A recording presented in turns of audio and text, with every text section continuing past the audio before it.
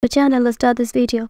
Death's Game is a fantastic K-drama setting Park So Dam and Seo In Guk, Lee Jae-wook, Su Hui Si-won, Go Youn-jung, Lee Do-hyun, Kim Ji-wook and others actors are actresses are also a part of the process. The drama is based on a webtoon and will consist of eight episodes.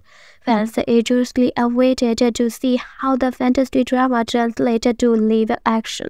This game trailers break down the opens with a visuals from Will as a data work so dumb. Herself college uh, challenges the seek in a good character challenges to try and survive 12 lives in a which that is uh, he is bound to die. So you know who uh, so you know joke sorry so in good characters tried to the take his own life and as a punishment he has to live these different lives and experience it Uh, 12 item. After experiencing a death, he is also determined to overcome it and try and survive.